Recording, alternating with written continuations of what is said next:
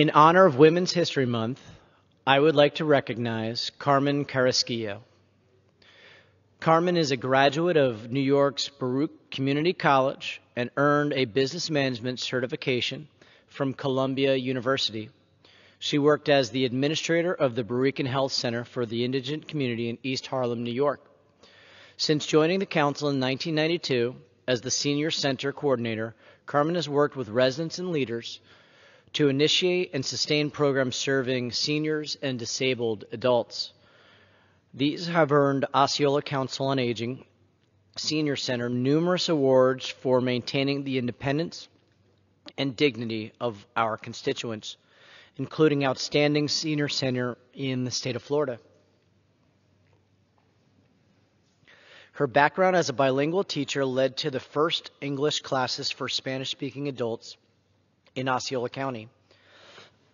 this also led her to become a founding member of Bravo, a nonprofit organization that provided necessary information and referrals to a newly immigrated Hispanic population in Osceola County.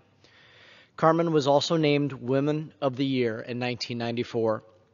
Carmen assisted the Council on Aging with the opening of the first Hispanic site, Centro Latino Americano Edad de Oro, in the Buenaventura Lakes Community Center, also known as the Roberto Guevara Community Center.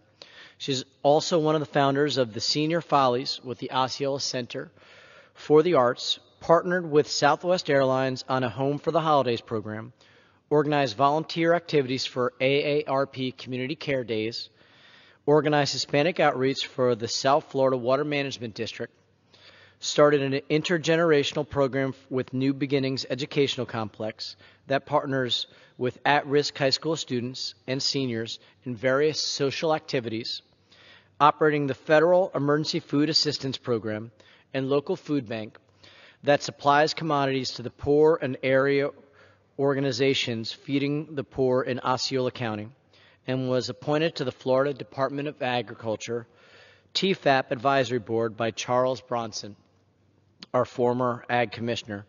And for that, Ms. Carmen Carrasquillo, we honor you.